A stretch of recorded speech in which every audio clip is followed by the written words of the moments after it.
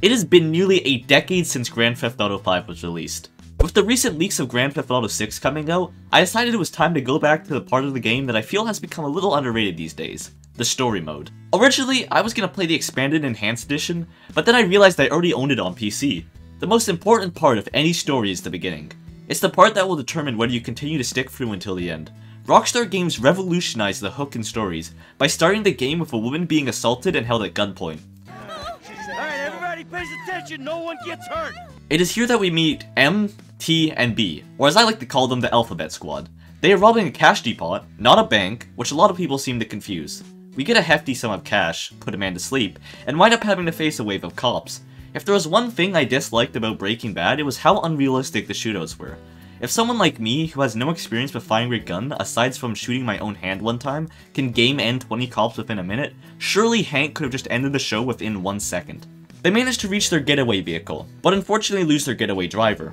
I don't even know why they had a getaway driver when his death ultimately causes zero problems for them. They need to beat the train that literally doesn't exist. Okay, so let's look at this. Over guys, I'm going really- oh, okay. After that, they are left stranded searching for a mysterious helicopter. I'm disappointed that we never hear more about this character, though we do get some references to them later in the story. B gets shot and T takes cover, but M stands out in the open, so obviously waiting for something to happen, it's almost like he wanted to get shot. T is supposed to fight off the cops in the last stand, but that takes effort, so I just run away. And with that, GTA 5 truly begins. We see that M is indeed not dead and is actually named Michael DeSanta. He is living the ideal life of a middle-aged man with no one who really loves him, but everyone sticks by him because he's rich and thus he can only vent his true feelings to a therapist. The life that most strive for. He crosses path with another one of our main characters, Franklin Clinton, and his friend Lamar. They retrieve some fancy looking cars and proceed to race across the city. Honestly, it's pretty difficult to race someone when you don't know where you are going and have to follow them. Despite that, I still win, and then proceed to meet the most horrifying entity in the GTA universe, the police. These supernatural forces of nature have powers beyond human comprehension, appearing wherever you are, spotting you from miles away, tracking you to the end of the earth. We evade them and return to our incredible job at a completely legitimate car dealership. Our boss, Simeon, the completely legitimate businessman, is making a deal with a customer who will later turn out to be an important character. Franklin, being the only person in this game of any sense of reason, doesn't care and returns home. He lives with his aunt, Denise, a character who exists, and that's all you need to know. Anyway, Franklin heads back to work and is made Employee of the Month. He tries to talk about how he feels he isn't making any progress in life, but Simeon ignores him and Lamar comes in to complain about not getting Employee of the Month. Truly an incredible life that Franklin currently has. Our next job is to repossess a bike from a local gang. I restarted this mission numerous times due to me trying to do something creative, but Rockstar Games doesn't allow that. I get in this Man, car. pussy the only thing that's smooth up in this shit. Man, what exactly did I do in a past life to deserve your... Okay, never mind.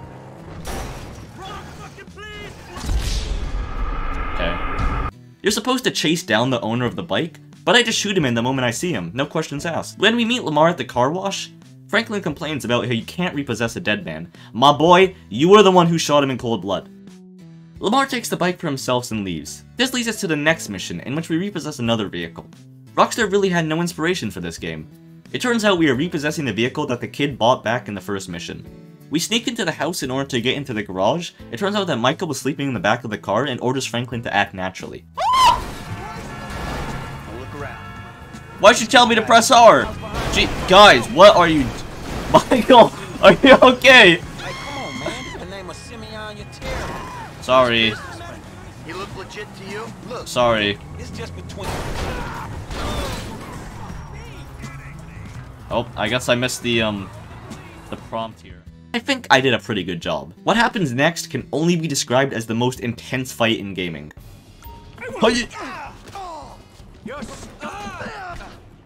Hi- Aerial attack! But, ugh.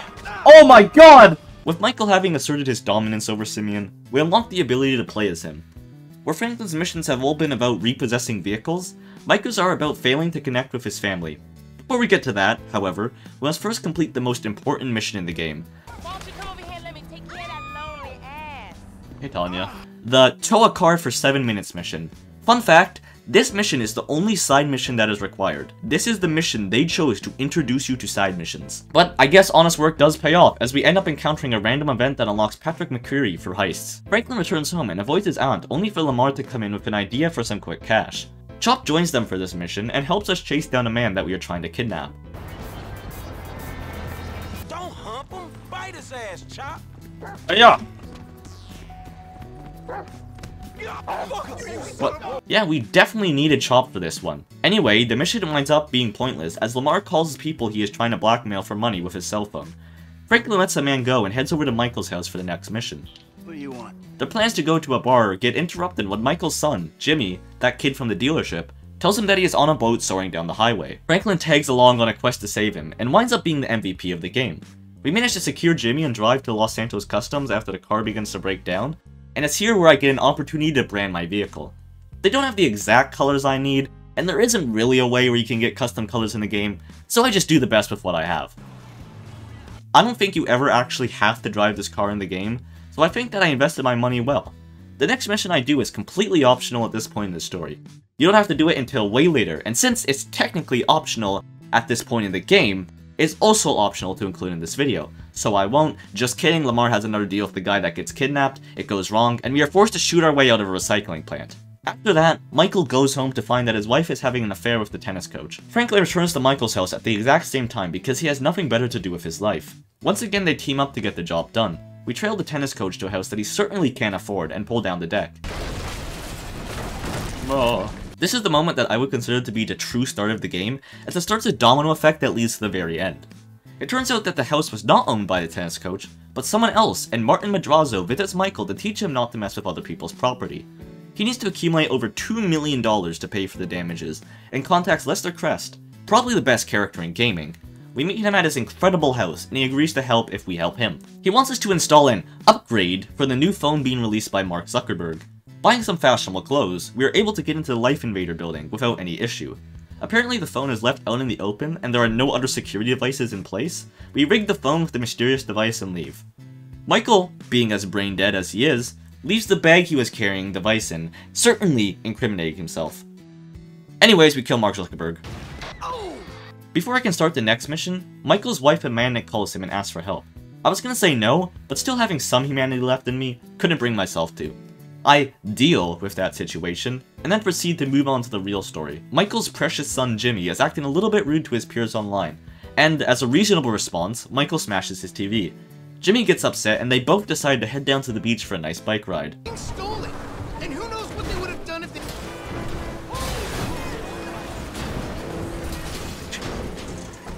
You're driving like a psychopath, Michael! No, we're driving just fine. What do you mean? Please shoot the bike rental guy out of like four... a habit. There you go. I take a shortcut at the start, and that makes it so for the entire race, I am cycling alone without any dialogue. Why is it so quiet? He's so far behind us right now. Jimmy tells us that his sister is out having fun on the yacht nearby, and since Michael doesn't want his children to be happy, he goes out and throws her friends off the boat. They understandably are a little bit upset, but we just kill them and move on. You are meant to escape them by going through this tunnel, but sometimes violence is a quicker solution. We end up disappointing both of our children, but who cares? We're about to take the biggest take in our life. I spend an unreasonably long time to actually get to the mission, and when I do, I remember I was supposed to buy a fancy suit. Find those anywhere else. Alright, $3,900 spent on a suit. I really love how money works, and how prices of life work. With that out of the way, Lester and Michael case a jewel store in order to figure out their approach. You get a choice between being loud or subtle when it comes to the heist, and I choose subtle. I once again take the time to brand Michael's car before borrowing a pest control van for the heist. After I borrow a top scientific institution's van for... I wasn't actually paying attention to what Lester was saying, so I don't know why I'm stealing this, probably for some knockout gas. With that, it's time to begin the heist. Franklin knocks out everyone in the jewel store by throwing a canister into the ventilation. I chose the worst hacker possible, so I had to be quick when breaking the cases. I almost thought I wasn't going to get them all for a second, but wind up making it just in time. Outside, Franklin is being harassed about having to move his bike, so Michael steps in. He hands over his bag and just walks away, I guess. The crew races off into the city without any direction on where they are going. They end up in the sewers and somehow having crashed and died before making it out into a wave of cops. Oh! Michael is now driving a big truck and ramming all of the police cars. This is supposed to be the getaway vehicle, which means that it really shouldn't be doing anything suspicious. Fortunately, the police must have forgot to fuel their helicopters that day, because after destroying every police car, the bikes drive into the back of the truck and take off. It's like they say, there are two kind of robberies, those who get away, and those who have witnesses. Quick note here, Michael says that the pay for the heist will be awful, yet Michael gets 1.2 million and Franklin gets nearly 300,000. I guess Michael's standards are a little bit high. The two of them celebrate before being rudely interrupted by Dave Norton. By the way, does Michael actually lock his door to the house because people are just walking all the time? Anyway, anyone with a keen eye will realize that this was the guy who shot Michael in the beginning. He complains to them about the heist, but the two of them laugh it off. This leads to the best transition in gaming. I don't know anything about that. This other guy runs out of the shop. Rockstar somehow managed to introduce Trevor by having him kill a protagonist from previous DLC, and he's still one of the most legendary characters in gaming. Anyway, trying to condense this game into one video would take several years of effort, so if you enjoyed this video and want to see more, make sure to subscribe and comment down below. About 99% of people who watch my videos aren't subscribed. So, okay, I don't know, Dream did this and he has a few more subs than me, so maybe it works.